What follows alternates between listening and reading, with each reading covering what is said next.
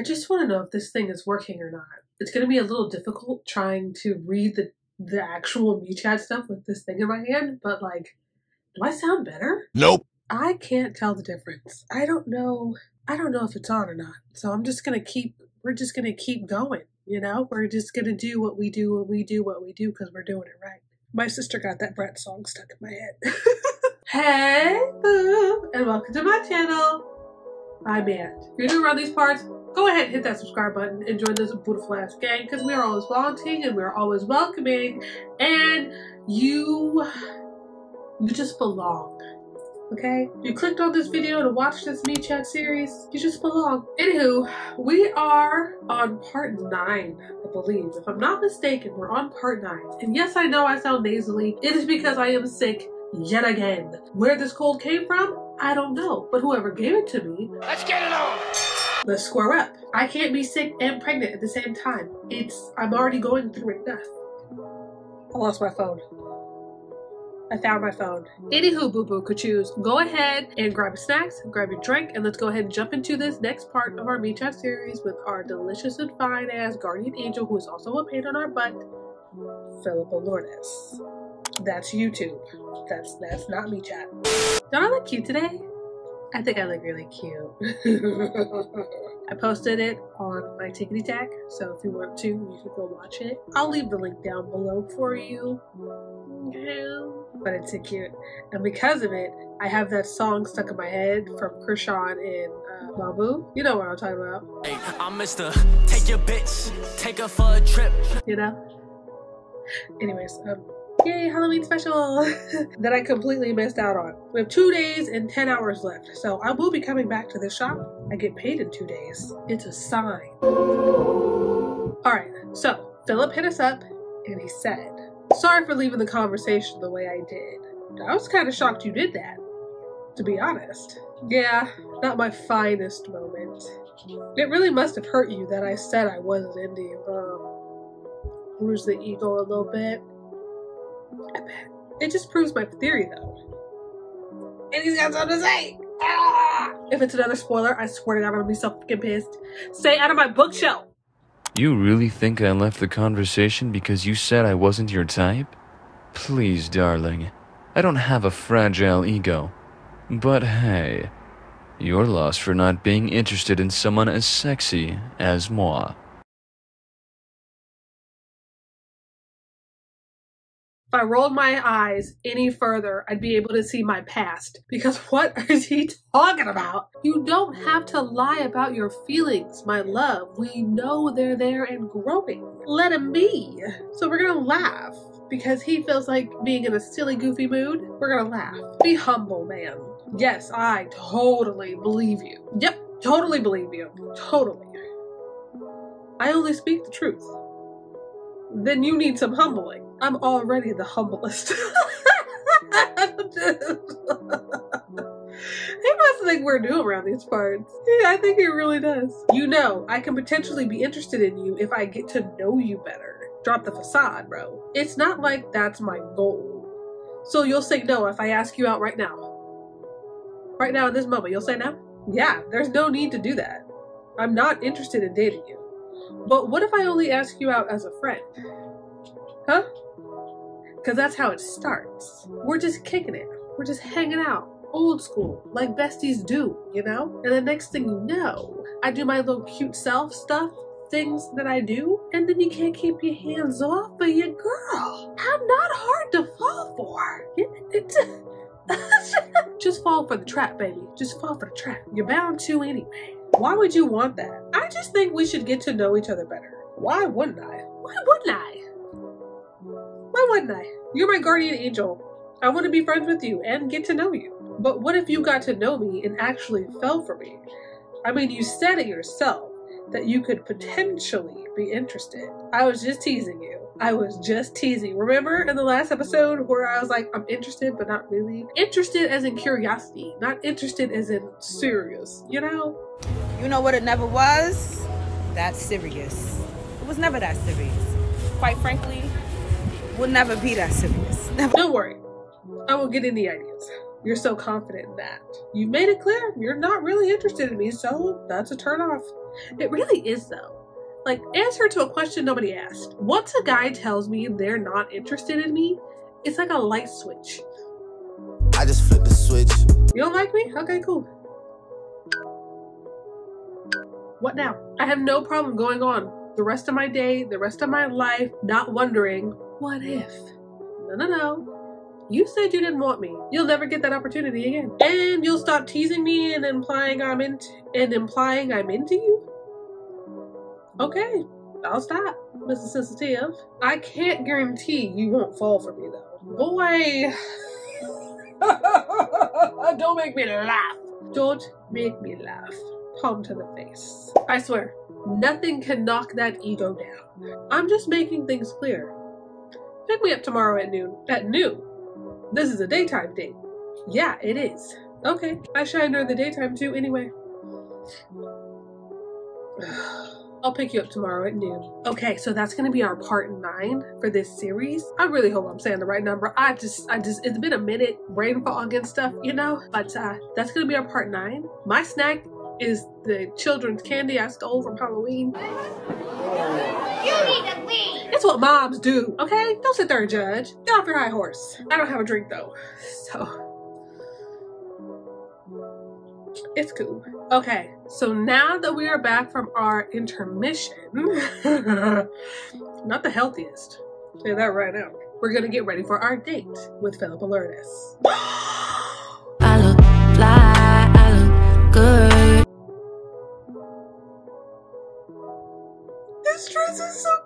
Oh my god, he's so cute! Friend zone my girl. Hmm, the Yiddies are yiddying. That's clearly the one we're gonna go with. We're not even gonna skim through the rest of them. This is just. She's so pretty. She's so pretty. Confirm. Let's go. We're going on our date.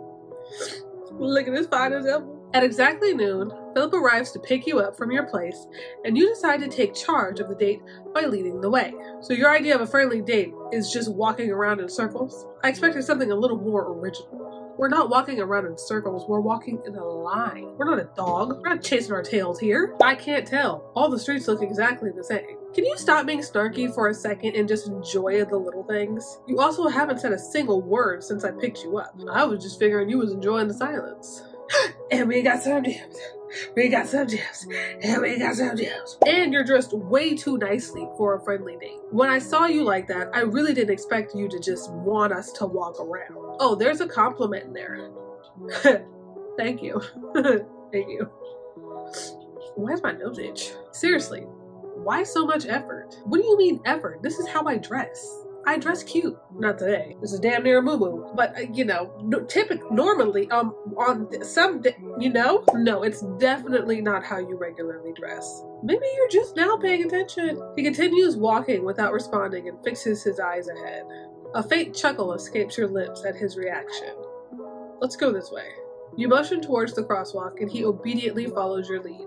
As you guide him, a vivid vision suddenly flashes through your mind, capturing your attention in that fleeting moment. You see him hunched over you, his white wings, his wings are not white. In this picture, in this moment, they are not white. They're like a maroon burgundy kind of color. You can see him hunched over you, his white wings shining brightly around you, as if he's protecting you from something. Experience the vision in full or ignore the vision. No, we're not ignoring that. We're gonna experience it in full. Are you crazy? Are you mad? Watch out! As you steady yourself finding support in his presence, you lock eyes with him, a profound connection forming between you. The intensity of the moment amplifies as the car that nearly collided with you comes to a sudden halt, causing a surge of relief to wash over you. Were we almost in an anime scene? That serial killer white van? You know what I'm talking about? Me and you know that bitch loaded. Living my life just like everything. Was that almost us? With a gaze that speaks volumes, you meet Philip's eyes, conveying a mixture of gratitude, astonishment, and a newfound understanding. Though transpiring solely within the realm of your mind, the vividness of the scene engulfs you, making it feel as if you are living through it in the present moment. Are you alright? I am. Thank you, Philip. Your heart quickens its pace, the rhythmic thumping echoing within your chest as his gentle touch grazes your cheek. Locking in a gaze that transcends the present, a depth of emotion passes between you, unspoken yet pal pal pap. Is this another word I can't say? Oh my god, I learn new things every day. Pal palpable palpable.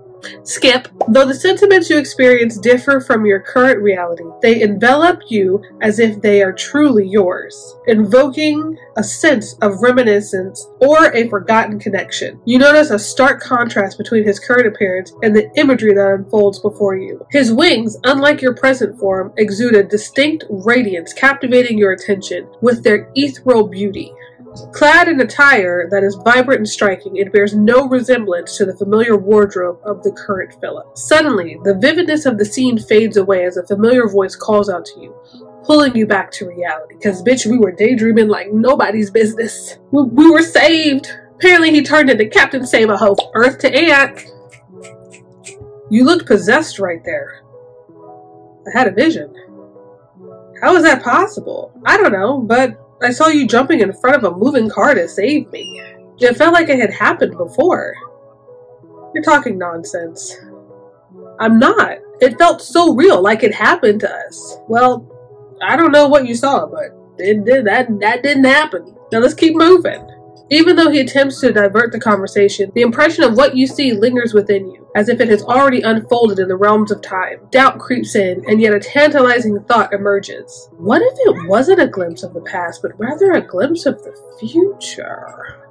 Can it be possible that I possess the ability to perceive events that have yet to transpire? Because that would be fire. I'm feeling a little Dr. Seuss today, so bear with me. Have you ever worn super bright clothing?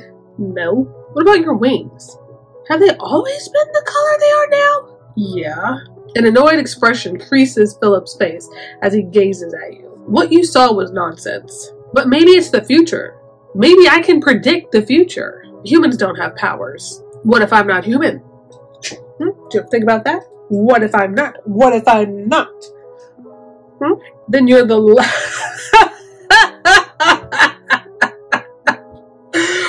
rude, rude. Then you're the lousiest non-human ever. Har har. you roll your eyes and laugh sarcastically. A sigh escapes Philip's lips, and a sudden wave of calm washes over his features, replacing the previous hint of annoyance. Maybe I can ask you something now. Go ahead. How many exes did you have? I didn't count only one. I didn't count or only one.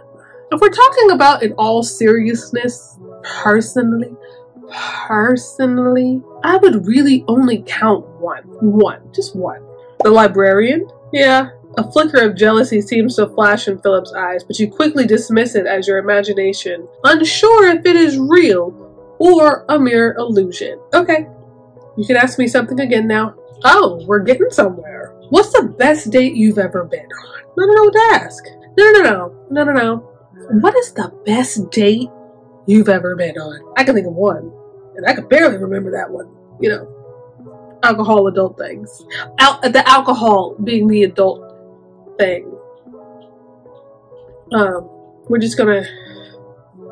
What's the best thing you've ever been on? Mm, we went on a spontaneous road trip. Who's we? He lets out an awkward chuckle and averts his gaze. Um, me and my partner. I can't imagine you in a relationship. It didn't last long. So where did you go? We had no clue where we were going. We were driving and then suddenly we stumbled upon some hot springs. It was tucked away in the middle of nowhere, surrounded by lush greenery and cascading waterfalls. That sounds absolutely fucking beautiful. We took a dip and you can imagine what else we did. yes, yes, Philip, we can. I think we all can. As he winks at you, you can't help but feel a flutter of awe, realizing that whoever this person is, they were extraordinarily lucky.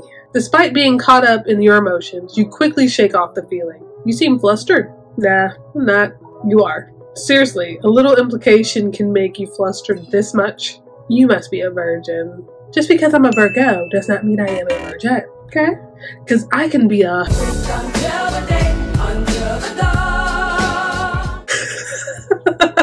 In response to his laughter, you playfully roll your eyes. Give it a rest. As he boldly steps closer, his finger gently glides down your arm, causing a shiver to dance across your skin. You're imagining yourself there, aren't you?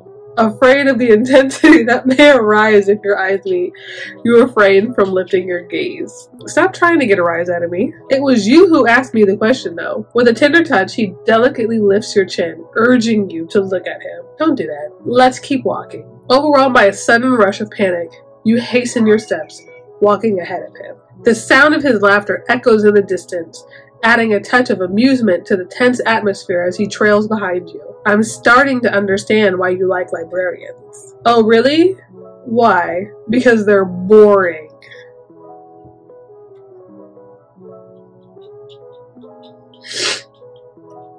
Okay.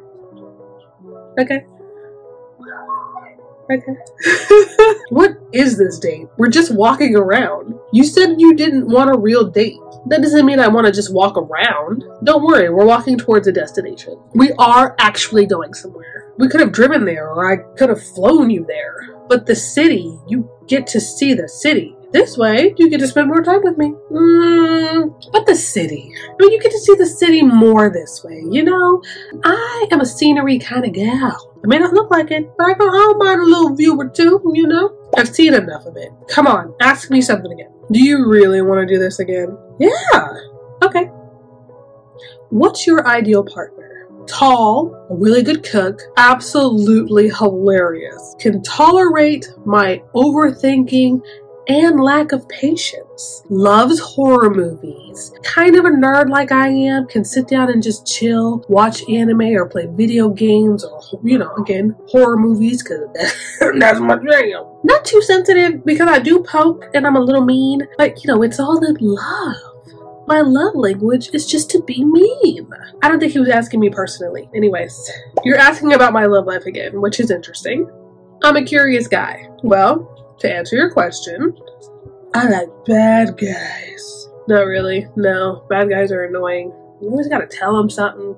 They might embarrass you in public. It's just, I would just rather not. You know, I'm not 16 anymore. It's not worth saving someone who doesn't want to save themselves, so no. My ideal partner is someone who doesn't annoy me. That's the one. The bar's in hell. Shut up. Philip. Actually, the bar is in the sky. Lots of things annoy me. Yeah, it's true. It's true. That is very true. Lots of things do annoy me. But let's keep walking because we're almost there. As you continue strolling, you eventually arrive at a charming cafe, a spot filled with nostalgic memories from your youth. Although it holds a special place in your heart, you prefer to keep this sentimental attachment to yourself for now, not yet willing to reveal its significance to Philip. This date has been really PG 13 so far. I, I, would hope so. This is a whole YouTube video thing going on. We don't need no wicked whims going on. Didn't we agree that it's a get to know better date? I guess. This place is the opposite of sensual, and friendship is the opposite of sex too. Who would have known? Debatable. Just pick a table and shut up. His eyes scan the surroundings before he confidently guides you to a cozy table tucked away in a charming corner of the cafe. Hello. What can I get you? Philip pursues the. Philip goes over the menu attentively before making a selection. I'll have a cappuccino and a slice of this fruity cake. He points at the cake he wants, and the waitress nods. And for you? A piece of chocolate cake and a ma- a matcha latte a slice of tangy lemon tart and a zesty iced lemon. Ooh, I don't like tart, but pregnancy will have you craving some weird things, and a lemon tart actually sounds really good right now. Okay, I'll be back shortly with your order. After a little while, your orders are served, and the conversation flows effortlessly between you. Jokes and laughter fill the air, and you can't help but notice that Philip steals glances at your cake fixes his eyes on the sweet treat. You only took one bite of your cake. Why is that? Mm, I just enjoy talking to you. That's the biggest lie you said so far. No, no, no. The biggest lie he said so far is that my cooking won shit. I still remember that, and I take it personally. You wound me. You're staring at my cake like you want to devour it. Do you want a piece? I'm not. You totally are. Feed him your cake, tell him to stop. You want a piece so bad? Here, I'll feed you my cake. Dang, all you gotta do is ask. And we got some gems. We got some gems. And we got some gems. Come here. Noticing Philip's lingering gaze on your cake, you extend a kind gesture and offer him a slice. A spark of delight lights up his face as he eagerly takes a bite, savoring the sweetness with evident enjoyment. Mmm. Okay, that's definitely better than this stale cake I ordered. Give me another bite. As you share another mouthful of cake with Philip, you can't help but notice the way in which he centrally takes the fork into his mouth. His eyes lock on yours, the sounds of pleasure escaping his lips and a wave of heat coursing through your body, igniting a fiery sensation. Deep within. Delicious. His lips moisten as he delicately runs his tongue along out of the gutter. Out of the gutter! Runs his tongue along them, drawing your attention to the mesmerizing motion. Your focus lingers on the tantalizing movement, arousing thoughts of the myriad possibilities that his skilled. Apparently, we on the same page. That his skilled tongue could explore. Order something else. But your cake is just so tempting. No, order your own. This is mine. He listens to you and orders the same cake as you. The waitress brings it over and smiles at you both. You two make a lovely couple, I must say. Girl, that is not my. We're not a couple. Yeah, we're just friends. oh. Sorry for assuming. Enjoy the cake. As the waitress awkwardly retreats, you and Philip exchange a meaningful glance that evokes a peculiar fluttering sensation in the pit of your stomach. With each bite of the new cake, a genuine delight dances across his face, prompting an involuntary giggle from you. What's funny? How much you enjoy that cake? I need you to admit that you that that I have impeccable taste. I just can you do that for me, Philip? Can you just admit that for me? Can you just do it? Shut my soul up. Never. He takes another bite and you smile at him. I need you to stop looking at me like that. Like what? You're the one with the nasty, messy eyes over there starring the lickety lick of the lips. Like what? Like I'm cute. Well, you are. You want me to deny that? I can't do that. Yes, you are an attractive man, angel being, you know?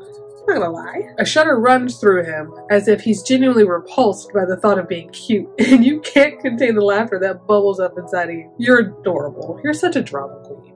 You're adorable. Nobody ever said that to me in my entire life. There's a first time for everything. You wink at him, and he rolls his eyes. As Philip takes another delectable bite of his cake, you can't help but notice a smudge of frosting adorning his lip. Clean the frosting off his lip, laugh, and point out the frosting. I'm gonna clean you up. Cause this ain't nothing but a G thing, baby. This ain't nothing but a game to me. You have something, huh? Right here. You reach out and gently wipe the frosting away, your finger grazing his skin. A mischievous grin spreads across your face as you bring your finger to your lips and centrally lick off the sweet residue. The gesture captures Philip's attention, and his gaze becomes fixated on your lips. You could have used a napkin. I could have, could have, could have, would have, should have. This was more fun. As your eyes lock, a knowing understanding passes between you, and you can sense that he secretly enjoys your gestures, despite any dismissive remarks. it's a game, baby, and we're winning.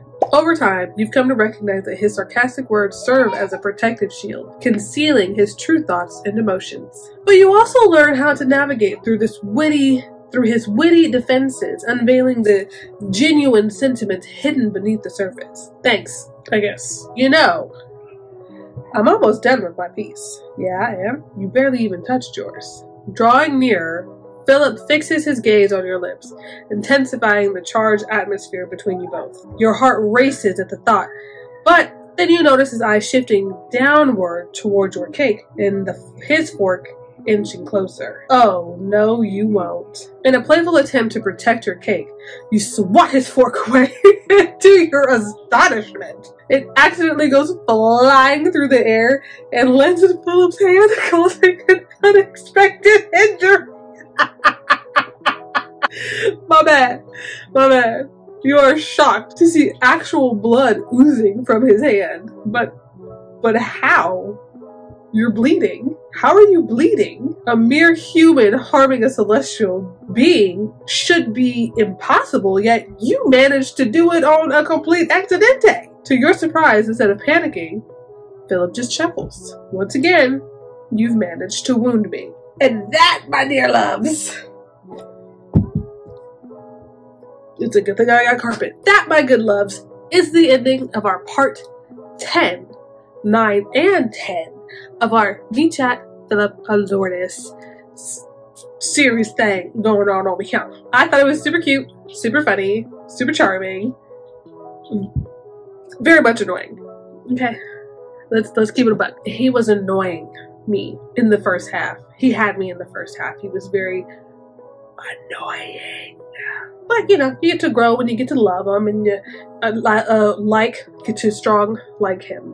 Um, we might just jump back to our good old Cedric, see what's going on over on those parts. Or we might go ahead and, and dibble dab with some Tamura because he back too. And we got two good men, the two good ones. Even though I, I, I messed up earlier in this series and totally forgot about Tamura, but it is what it is. Anyway, if you like this video, go ahead and let me know you like this video by hitting that like button if you're new around these parts. Go ahead and hit that subscribe button, join this beautiful ass gang because who wouldn't want to be a beautiful ass person? And while you're over there, don't forget to hit that notification bell so you can be notified any and every time that we I uh, that I upload because clearly I just be posted whenever. Don't forget to follow me on my socials and I will catch your beautiful ass next time.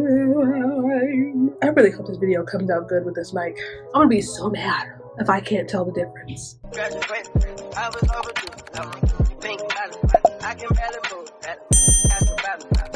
bust a.